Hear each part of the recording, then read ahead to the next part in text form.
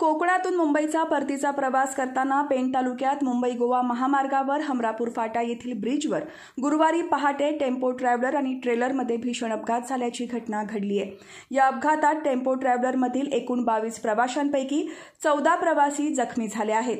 कोकणातून मुंबईचा परतीचा प्रवास करताना हा अपघात झाला आहे. टेम्पो ट्रॅव्हलर खेडवरून मुंबई सांताक्रूजकडे जात असताना पेण हमरापूर ब्रिजवरील बंद पडलेल्या ट्रेलरला मागून धडक दिल्याने अपघात घडला आहे. यावेळी सर्व अपघातग्रस्तांना अपघातग्रस्तांचे वाली देवदूत कल्पेश ठाकूर यांनी त्यांच्या रुग्णवाहिकेतून तात्काळ पेण उपजिल्हा रुग्णालयात दाखल केले असून त्यांच्यावर उपचार सुरू आहेत.